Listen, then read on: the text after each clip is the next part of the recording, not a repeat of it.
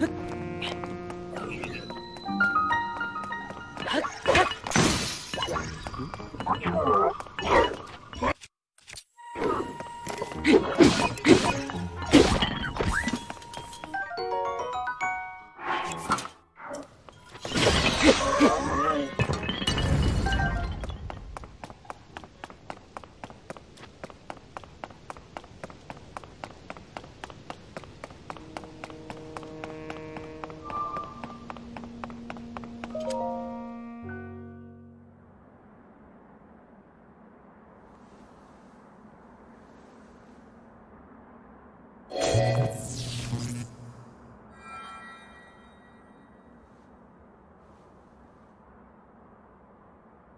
That door will open only to those with sufficient power.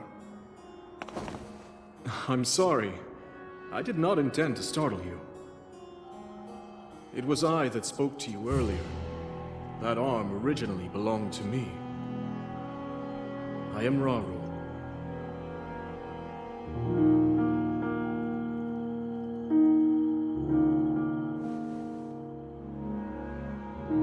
Forgive me for appearing to you in this manner. Unfortunately, I no longer have a physical form.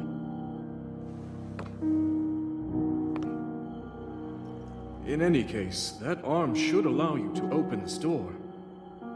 It seems to have lost the power to do so.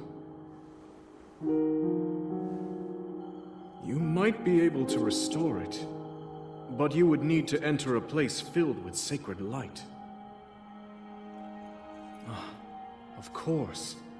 Why not visit the shrines on this island?